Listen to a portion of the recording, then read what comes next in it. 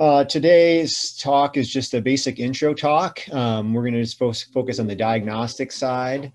Um, and this is mostly geared towards the new fellows, um, but certainly anybody who's, you know, who's uh, getting into diagnostic ultrasound or wants a little refresher, um, I mean, this would be, would be reasonable for them as well. So uh, we'll try to keep within uh, half an hour, hopefully, uh, or until somebody starts knocking on my door here telling me I have to see patients. All right, so uh, a few disclosures. We're not talking about anything today, uh, but basic stuff. There is some homework, and so we do have a, a bit longer, more comprehensive talk that's available on the AMSSM website. So hopefully people are familiar with this, but for any of the new fellows, uh, make sure that you quickly become acquainted with the resources that we have on the AMSSM website. So if you go to uh, the main website and go to the sports ultrasound homepage, you'll find uh, a link to the online ultrasound didactics. And so John Finoff and I put these together several years ago now. Um, I think we have over 35 different uh, videos. So we have live scanning videos, we have pathology videos, procedure videos, um, and this website will continue to be updated um, with, with new stuff that comes out. And particularly as we start to introduce the new curriculum, uh, which is almost finished. Um, I've been promising it for a while, it's almost there. Um, you'll start to see new stuff popping up on here. So make sure you're acquainted with this website. Uh, but for today's homework, um, go to the Principles of Sports Ultrasound and Introduction to Scanning Techniques video.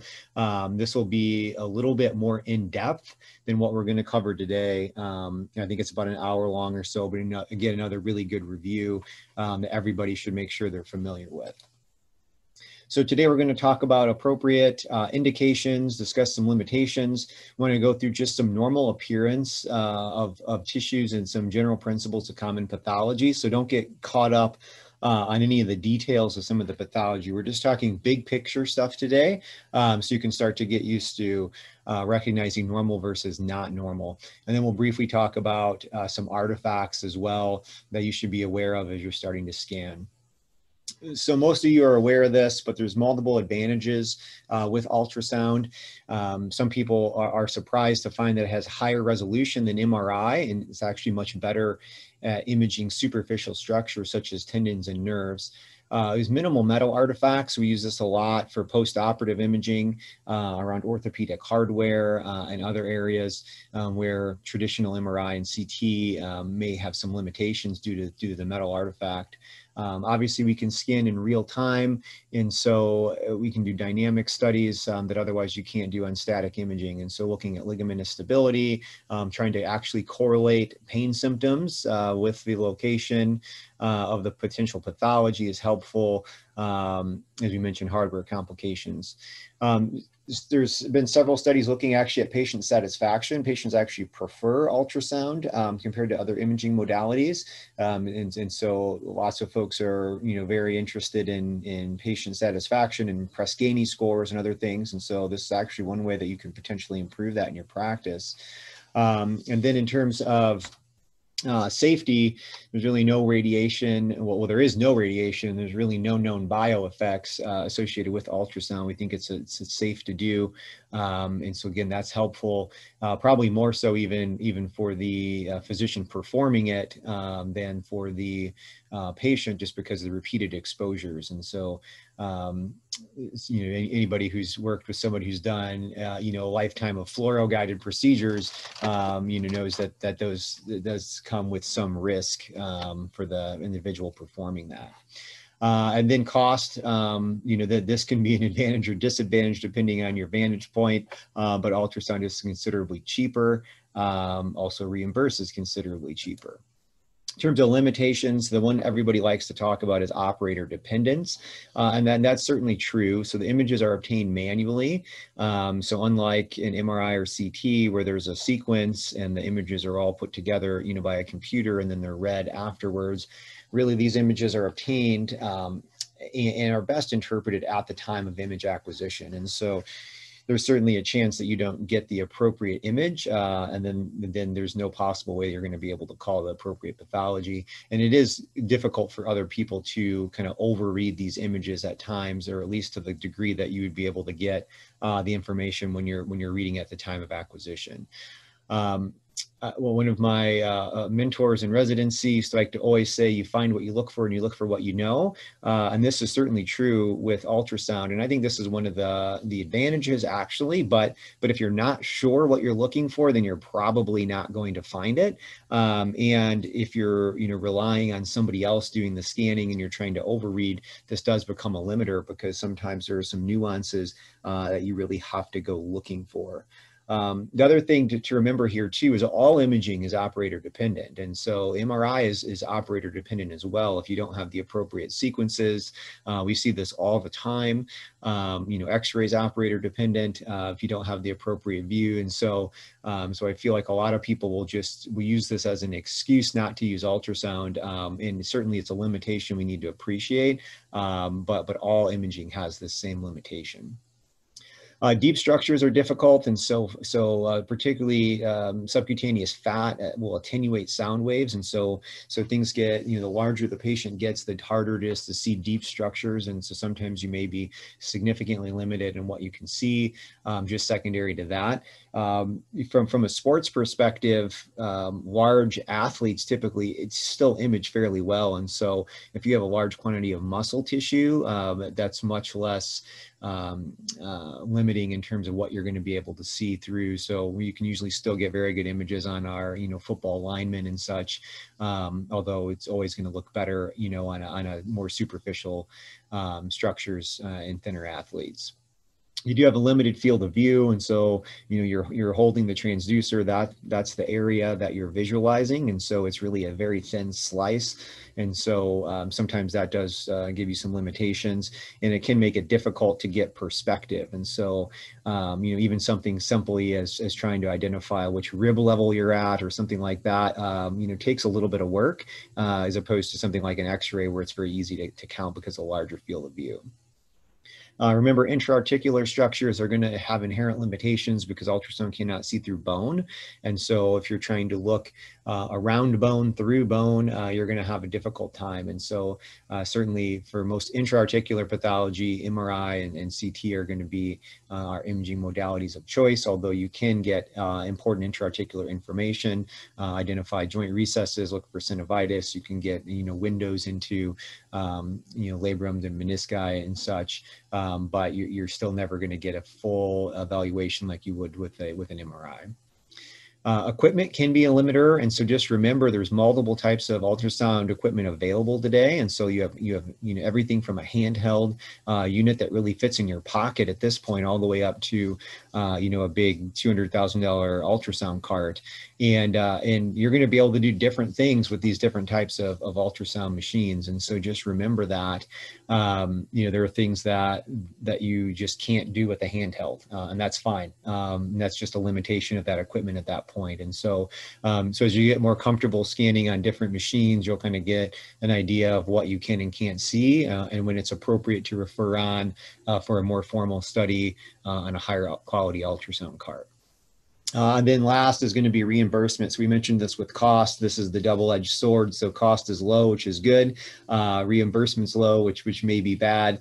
Um, you know, I had one uh, physician who who I was um, a pain anesthesia pain um, medicine doc who you know said they just stopped teaching ultrasound because it wasn't even worth it anymore. Um, it was reimbursed so low, and unfortunately, I've had colleagues who who have really stopped doing diagnostic ultrasound because it's just hard to make it fit in a business plan. And so, um, so there's ways you know hopefully around that, but but again, unfortunately, that is a limitation at this point for integration into practice. All right, we're going to do ultrasound physics next, and this is really going to be ultrasound physics for dummies. And so on the uh, the link that that I mentioned earlier, there's a bit more in-depth discussion of some of the physics. I'm not going to get into that today. Um, this is really all we're going to talk about. So the, the basics that you need to understand uh, of ultrasound of how it works is you have a sound wave that's going to be transmitted out of the transducer uh, and then some of that sound is going to get reflected back, as you can see here. So sound's going to come down, some of it's going to get transmitted into the tissue, some of it's going to get reflected back. Um, what you want is as much of this to get reflected back to the transducer as possible, because that's what's going to get uh, converted into an image on the screen for you to see. And so if you have your sound waves coming in at an angle like this, a certain amount is going to reflect back away from your transducer. And so only a, only a small amount of those sound waves are going to actually make it back. And this is going to form the basis for an artifact we're going to talk about called anisotropy uh, which is really the thing that you're constantly struggling with in msk imaging. And so you just always want to think you want to orient your sound waves directly towards the structure that you are trying to image so that the maximum amount of sound waves comes back to your transducer.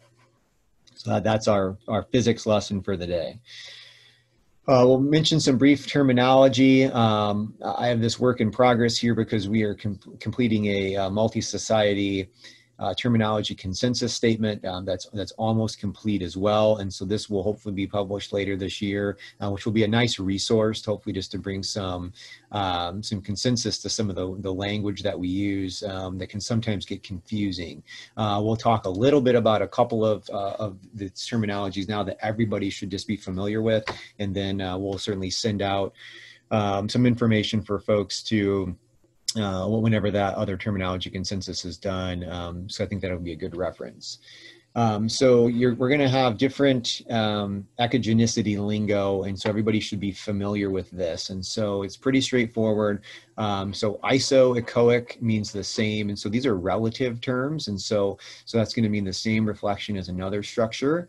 Uh, and then hypoechoic is going to have a lower reflection. Hyperechoic is going to have a higher reflection. So hypo is dark, hyper is bright, iso is the same. Again, it's a relative term. And then anechoic is going to be no reflection. So no echoes, which is going to be black. And so the, this is very common terminology you should just get very familiar with because uh, you're going to see it and hear it a lot. Uh, in terms of equipment, we have several types of transducers. They are transducers, they are not probes. Uh, if you want to get me really worked up, say probe. Um, everyone who knows me will laugh, but I hate that word and we should use transducers. Uh, and that is in our official uh, terminology consensus document. So there are several types of transducers. Um, the most of what we're going to work with in MSK are going to be either linear or curved. And so these are pretty straightforward. It's either straight or it's curved. Um, so, so there's nothing too fancy here. And it's just the way that the, the crystals are aligned. Uh, and you'll be able to tell the difference because a linear is going to come out looking like a box and the curve is going to come out looking like a fan. Um, and so, there are you know with say say like the new butterfly transducer that that can kind of switch modes because it's a little bit different. Um, so you may see some different things and some machines will have like virtual convex off of a linear. So there is a little bit of nuance here um, but by and large just be familiar um, these two transducers look very different the third that you may or may not have access to, something called a hockey stick or a short footprint uh, linear array. It's called a hockey stick because it actually looks like a hockey stick. Um, and these are small little transducers that are helpful around the hand, uh, in the foot, in the foot and ankle. Um, there are a lot of you know a lot of you may not have one of these available so don't worry about it but if you do a lot of you know fine imaging um, you know small structures they can be helpful mostly because they fit into small spaces uh, where sometimes the larger linear transducers may have difficulty um, for the ER folks, you're probably familiar with phase transducers. This is more for, for cardiac scanning and such, so uh, we won't talk too much about those. From a frequency perspective, you're going to see numbers labeled on your transducers, and that's going to represent the frequency. And most of these transducers are going to scan across a range of frequencies.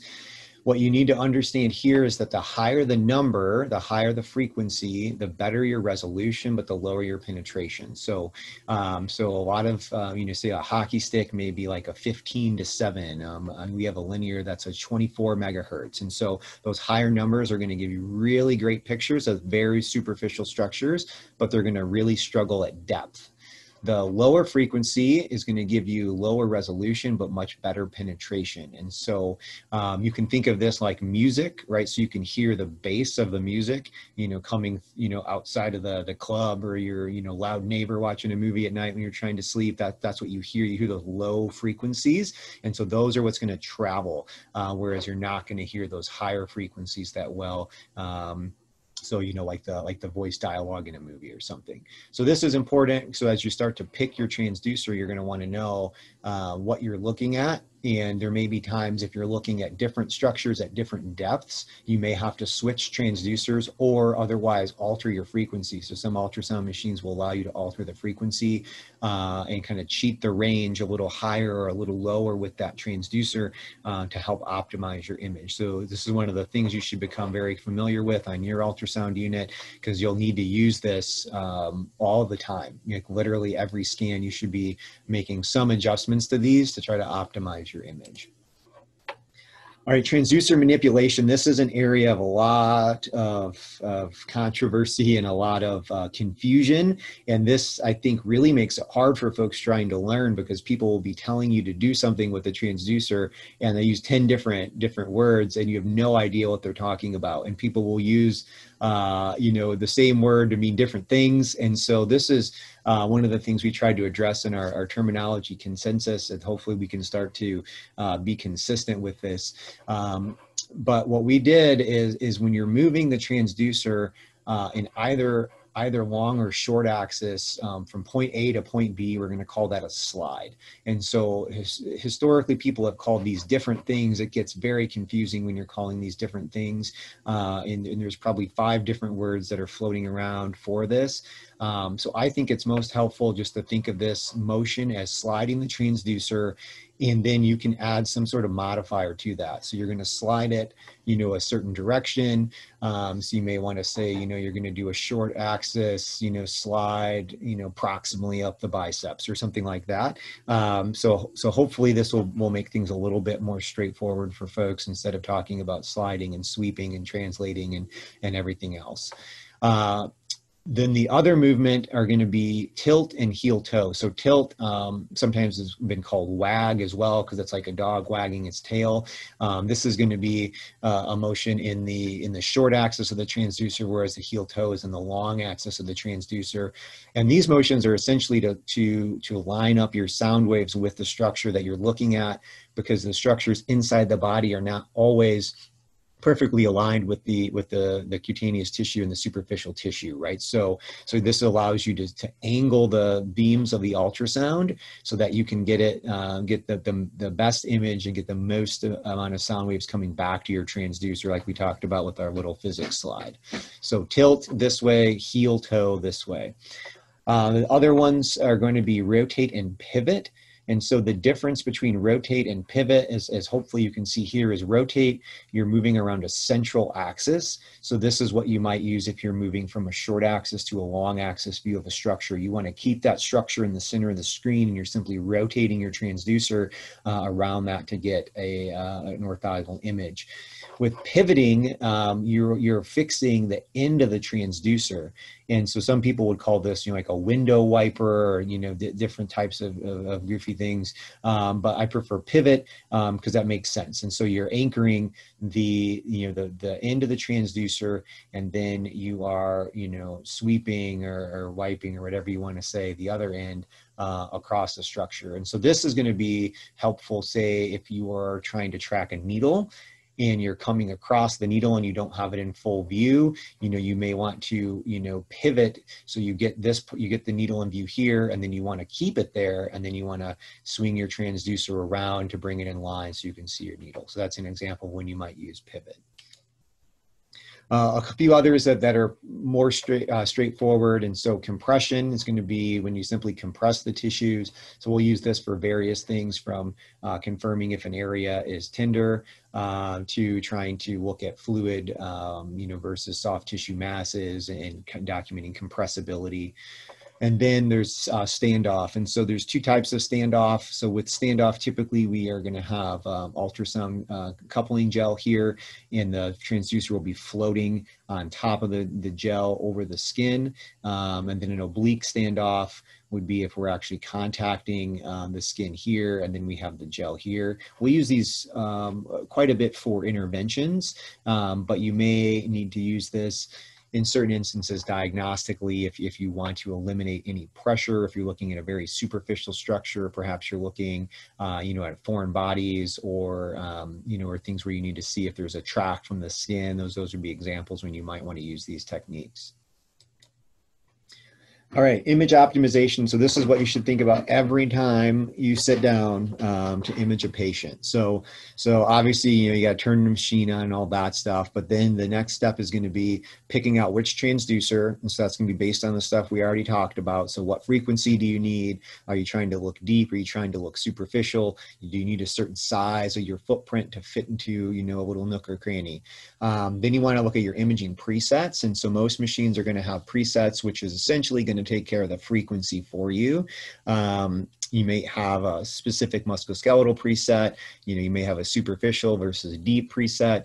Um, depending on on your ultrasound, you may have the ability to actually tweak these and modify.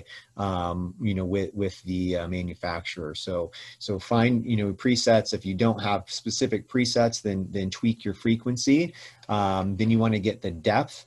Um, so you want you don't want to waste um, you don't want to waste space on your screen, and so you want to have the, your target structure essentially in the middle of the screen.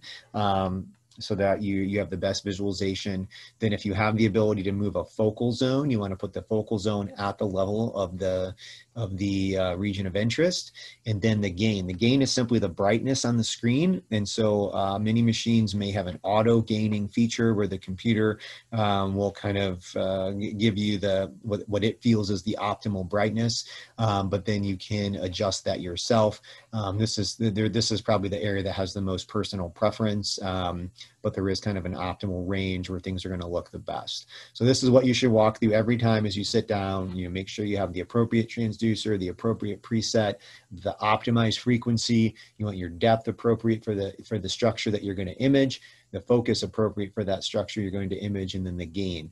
And then these things you may have to adjust all of these during the same scan. So say if you're doing a shoulder evaluation, you know, sometimes you may actually change out every one of these things depending on where, what you're looking at at that specific region. So don't be afraid to, uh, to make some modifications and just become comfortable with that. All right, so that's the the nuts and bolts of uh, of, of, ultrasound machines, how they work, and uh, and how to optimize an image. Uh, again, we'll we'll kind of re-hit all this stuff throughout the year, um, you know, in each of the individual scanning, and, and then hopefully um, for for those of you not here, you know, during your individual scanning sessions and through the year, you'll be you know constantly working on these things until it becomes second nature. So next, we're just going to briefly, um, briefly, briefly go through some normal versus not normal. Uh, again, don't get caught up with with any of the nuances of pathology here. This is really just kind of to start seeing normal versus not normal. Okay, so here's a rotator cuff, and this is a, a good representation of the structures you're going to be looking at with MSK. And so as we shoot down into the body, the first thing we're going to encounter is the skin. So the skin is going to be this layer here. Deep to the skin is going to be subcu tissue. Um, this is a, a healthy athlete who really has minimal subcu tissue over the anterior shoulder, so we don't really see much in this tissue plane. Then we're going to come into muscle tissue. Muscle tissue is going to be dark here, um, and then we're going to start seeing bright lines. And so the bright line here is going to be the acromion, so it's going to be bone. We can tell it's a bone because there's a deep shadow behind it. We'll talk about this in a minute, but as we mentioned already, the sound waves don't penetrate through the bone; they all reflect back. Because they all reflect back, the bone bone looks very bright here, and then we can't see anything through it. So this is called posterior acoustic shadowing. As we come to here, we can see some bright tissue. So this is going to be fascial tissue down into bursa. And then we get to the rotator cuff. Rotator cuff's the thing that looks like tendon fibers coming across. And so uh, fortunately, most tendons are going to have a very similar appearance. They're going to have this nice gray. They're not as dark as the muscle. Um, they're not as bright as the bone. Then below that, we're going to see dark stuff. So this is going to represent articular cartilage here. Um, and then we're going to have the bright bone, which is the greater tuberosity of the humerus. And so um, just general anatomy goes a long way with ultrasound. And so you need to just start to understand tendon looks like this, bone looks like this, muscle looks like this. Then you need to know what you're expecting to see based on where your transducer is placed. And so, um, so those are kind of the things as you really get started is going to be just starting to recognize what tissues look like. And then you have to know your anatomy um, so that you know what to expect whenever you are um, placing your transducer in a certain location. So this is just the same view. We flipped our transducer into a uh, short axis view, or we uh, we rotated it rather. And so now we can see again, skin looks like this. Now we see a little bit of subcutaneous tissue here posteriorly. Uh, we come down to muscle, again, tendon. So notes the same echo texture. Things look slightly differently now because we're in a, in a different imaging plane, but the colors are still the same. Um, and, you know, we still see the same shadowing behind the bone here. Um, cartilage still looks black. So we can see these alternating layers and getting used to these kind of alternating layers is pretty helpful. It's very helpful in the rotator cuff, but we'll see this other places as well. And so if you can kind of count down from, from superficial all the way to deep um, and know what the structure should be, this will really help you, um, particularly with more challenging scans when the anatomy is altered or in postoperative imaging. So here's an example of a, of a tear. And so what you should notice here is things just don't look normal. And so the other images, everything was smooth, was clean. Now we start to see things that just don't look normal, right? We see this, this doesn't look normal. This is some irregularity in the greater tuberosity.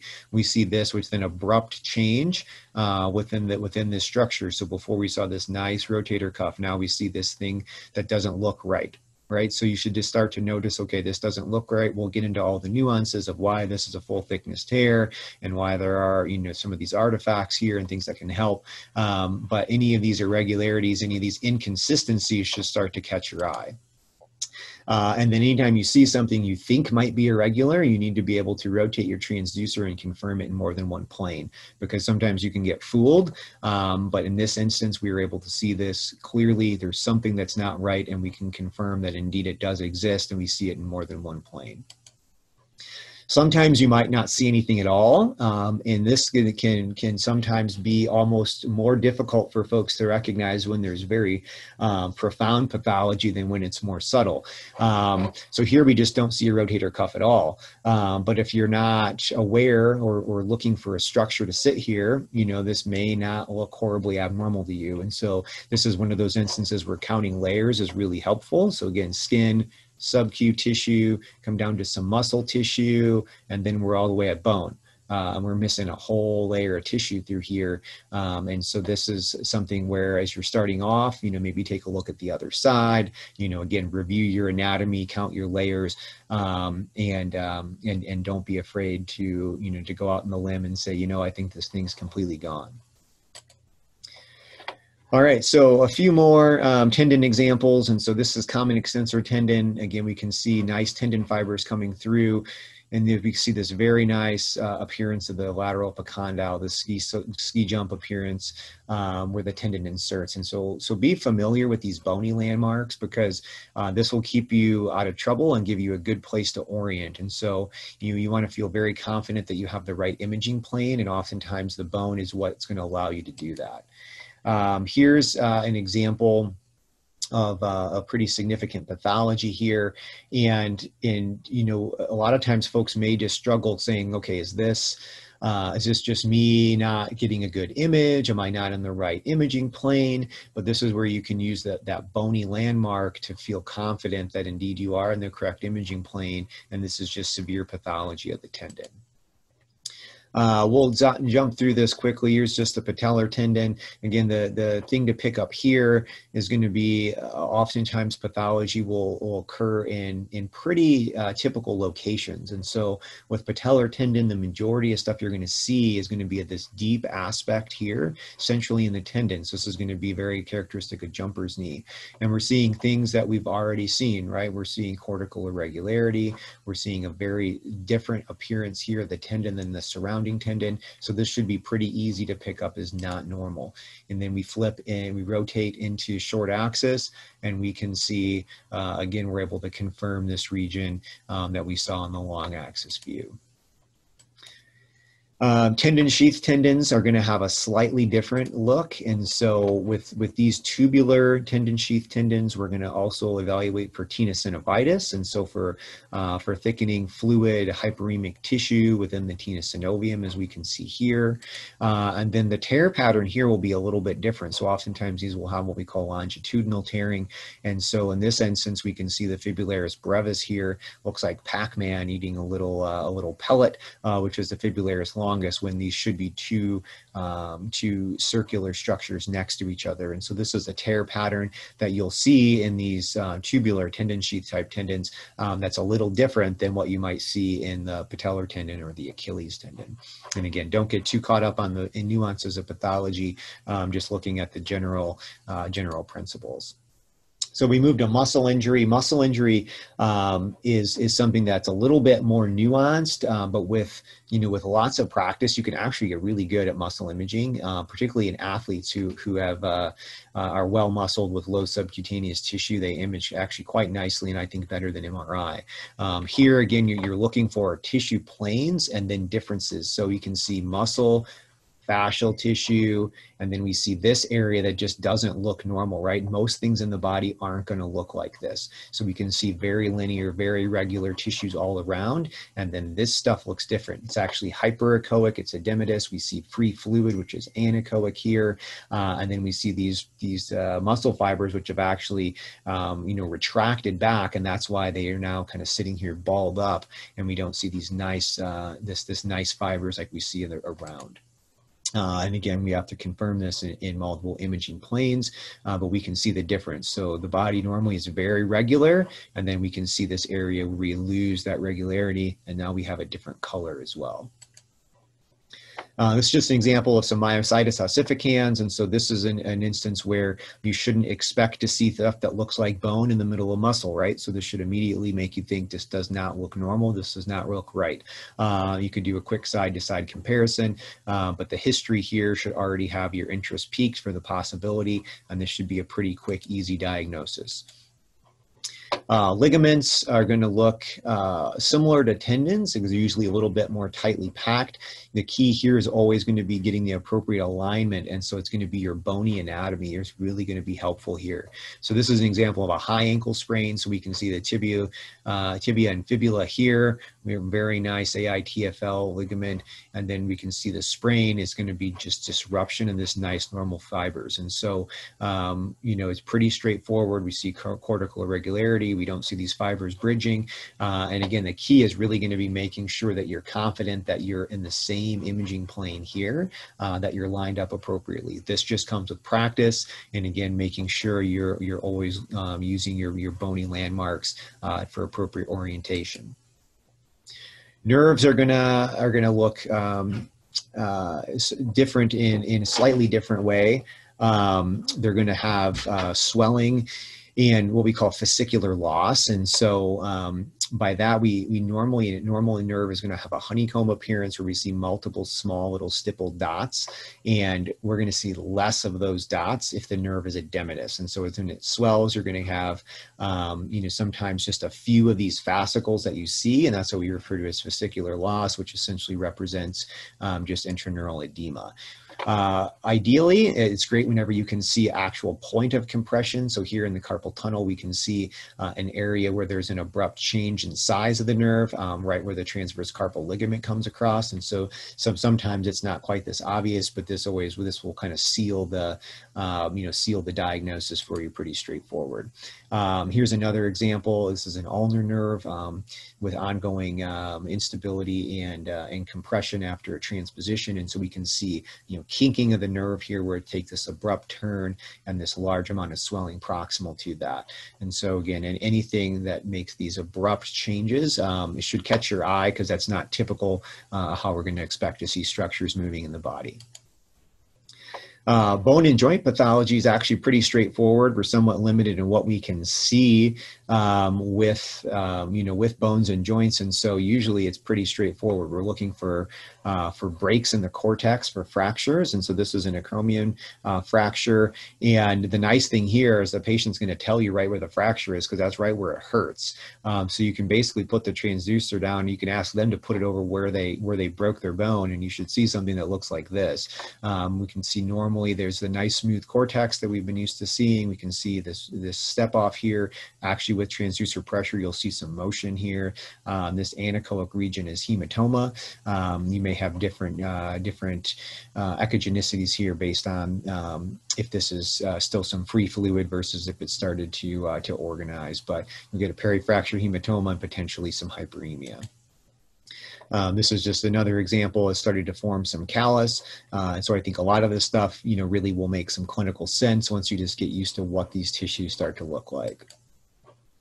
Uh, and then last thing is just joint effusion. So this will just be, uh, you know, I, you know, typically if it's a simple effusion, you'll have an anechoic um, compressible amount of fluid sitting within a joint recess. So this is the knee recess. We can see in both tissue planes, every joint's going to have a slightly different recess, which you'll have to become familiar with.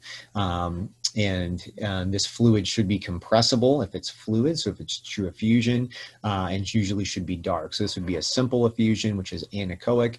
Um, there's some nuances here, which we'll talk more about, you know, throughout the year, whether you start to see some tissue there, which could be synovitis, or if you see a more complex fluid collection, like you may see uh, even an infection or a hemarthrosis.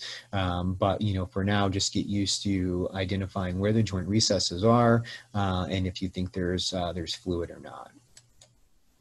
All right, last thing we'll try to wrap up here quickly um, are going to be some of our pearls and pitfalls. And so we mentioned anisotropy before. This is the thing that you'll struggle with all year long, um, and it's it's the, the hardest thing in MSK imaging because uh, relatively subtle transducer movements can really fool you into thinking something that's normal is abnormal.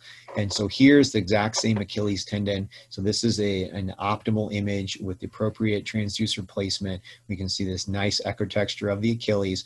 And then if we simply tilt our transducer even a few degrees, uh, all of a sudden we're we're losing a lot of those sound waves that are coming back to the transducer, so they're reflecting away. And so because they're not coming back and they're reflecting away, um, you're going to get a darker image. And unfortunately, tendinosis is going to be dark tendon, right? And so this could look like Achilles tendinosis, uh, where indeed it's just just poor imaging. It's just anisotropy. So so this is where you're going to have to constantly be making these adjustments with your transducer and convincing yourself um, that you're not going to be able to correct any anisotropy. So this is truly tendinosis, no matter how you tilt your transducer, is still going to uh, continue to be dark. Here's another example. It's very common. So this is the rotator cuff. And because these fibers are curving down, um, you'll often get this region of anisotropy. This looks like a tear, right? But if you take your transducer from the gold to the blue and just orient it slightly different, you can clean this whole area up. This is the exact same tendon. And you can see that indeed fibers come all the way through. So, um, so you always have to consider that anytime you're going to call pathology, um, that you're not over calling something, um, particularly in an instance where it may lead to potential surgical intervention for, uh, for a normal, normal tendon. Another artifact we'll commonly see is something called edge shadowing. And so this can be helpful um, when trying to pick up um, pathology. And so this is an Achilles tendon tear, and we can see where the, where the tendon is, uh, is completely torn and it's devoid of any fibers. Below that, we're going to get the shadowing artifact. So it's off, you know, exactly what it says. It's off the edge. And so if you give yourself a little bit more depth, this actually becomes a bit more apparent. So this is a trick you can use sometimes in trying to identify, um, you know, if it, if a structure is torn or not, um, is give yourself a little bit bigger field of view and more perspective and look for this edge shadowing. If you're seeing that, then that should, should uh, significantly raise your suspicion for potential uh, tear at that location. We can also use it to pick up structures that otherwise may be difficult to find. So here's just coming across the A1 pulley, which is a small structure of the hand, and we can see once we get across, uh, or once we get to that level, we'll see this kind of this edge shadowing, which represents this kind of dark halo around the, the tendons here. So sometimes you can use it to help um, pick out the level if you're otherwise having str um, struggling to find it uh, in perhaps the long axis. We talked about acoustic shadowing a bit before with the bone. So here's just an example of a calcification where we can see some acoustic shadowing. Um, and then the you can see it's slightly different than the normal bony shadowing, but this is a pretty hard calcification because we're not penetrating it with sound waves. We can also get shadowing from fibrous septae in the muscle. And so here's an example of fibrous septae in the deltoid. Um, and here's the, uh, the biceps tendon. And so this can actually cause some trouble at times because if you're imaging through this, it can make it look dark. So you can see we're actually moving this shadow back and forth across the tendon. And so um, just another thing to be aware of, particularly in, in, in healthy, well-muscled young athletes, you'll, you'll see quite a bit of this stuff. And so you may have to angle your transducer slightly, um, just a slight tilt or a heel toe um, to try to get rid of that shadowing artifact um, to make sure you're seeing the, the, the deep structure as well. Um, enhancement something we talk more about with you know abdominal imaging and stuff but you will see this deep to cyst. And so because you're not getting your normal sound wave attenuation um, the sound waves are able to move more freely through the fluid uh, and then are reflected back deep to that area. It's going to look very bright. And so you can see how this looks really bright here compared to over here. This is going to be a, um, acoustic enhancement or, or increase through transmission. So this is a, a big olecranon bursal fluid collection but we'll use this to help us um, oftentimes differentiate fluid filled from solid tissues. Um, although again, there are some nuances with this with soft with um, with soft tissue mass imaging, but but by and large, this is something that you should comment on when you're seeing uh, a cyst or a fluid collection uh, around an area, particularly um, if it's not clear, um, you know that that it is a cystic structure and it may be potentially a, a solid mass. Uh, and then reverberation artifact is something we'll see around metal. And so this is common with hardware, or you'll see it every time you do an injection, uh, or otherwise putting a metal device in the body. And so we can see the shadowing from metal uh, is what we call a kind of a dirty shadow, whereas bone shadowing is clean. And so here's bone, so we can see pretty clean shadow. Now we get to the plate that we can see in the radiograph, and we can see the shadow is slightly different. It's this kind of dirty shadow from the reverberation of the metal. And we can actually see the, the screw holes uh, where the sound waves look different as they come down through. And so, um, so this reverberation is going to give you, you know, if, and if it's something straight, um, like a needle, you can see here these multiple um, kind of linear uh, hyperechoic lines kind of coming down. So that's what a needle is going to look like in a true reverberation artifact. All right, well, I think this is the last thing. Uh, this is this mirror image artifact. We don't see this a lot in MSK. Um, you see this more around uh, around the the um, uh, the lungs and such. But this can be helpful um, when you do see just to recognize this as a thing so that you don't get in trouble. So here's that same olecranon bursa. And so we can see because this is superficial and because we're getting um, this increase through transmission, we're actually creating a mirror image on the bottom part of the screen. And so this is not real. This is just a reflection of this, just like if you're looking out in a pond, right? And so it's helpful to know that because you don't want to try to aspirate this stuff here because you're just going to end up doing a you know a bone biopsy um, if you're trying to jam your needle down through here. So it's just helpful to recognize um, that that this can happen, and usually it's around very strong reflectors. And so oftentimes from an MSK standpoint, we're really only seeing this in this instance where we have these superficial fluid collections um, up against bone, where we're getting this very strong reflection that will end up creating this mirror image artifact. All right, so I know that was quick um, running through particularly that last part, uh, but again, don't get caught up too much in the nuances. Just try to get familiar with what normal tissue looks like, and then and and then what uh, what abnormal tissue looks like. And so, um, you know, in some degree, this is just lots of repetition and uh, and somewhat trusting your gut and if something looks normal or not normal. Um, and then as the year progresses, you'll be able to start to um, you know characterize that and define it and and that'll come with with practice and in learning the specific nuances of the anatomic regions. Um, but really trying to just get that big picture view and lots of practice um, you know on anyone who will let you scan and you can scan yourself uh, and even just scanning um, you know your knees and your forearms and everything else to get used to you know what those normal tissue planes look like and how the body is oriented um, typically in, in, a, in a fairly linear organized fashion um, will then help you be able to, to kind of automatically pick up whenever something doesn't look quite right. Um, and then you can work on being able to, to actually, you know, define and describe what doesn't look like a little bit better. But, you know, don't get too caught up in that initially. Um, you know, I think it's really helpful just to get the big picture of normal, not normal um, before you start getting too, too far into the weeds. And then really just learning your anatomy um, throughout the year, trying to correlate it. Because um, if you don't know the anatomy, you're never, you're, you're not going to be able to do this. It's kind of the language um, of imaging. And so you just really have to know that. All right, guys. Uh, so hopefully that was helpful. Uh, again, we have a little bit, um, a little bit longer, more in-depth lecture on some of the physics and, and knobology and stuff that's available on the website. Um, as always, you can reach out to me with any questions, and uh, and hopefully look forward to seeing the the new curriculum and the terminology consensus, um, which should be coming out uh, at some point, um, hopefully soon, uh, early this fall everybody have a good Friday, and we will um, be back next week with our um, with our AMSSM case series um, at the usual time on the same Zoom link. All right, take care, everyone.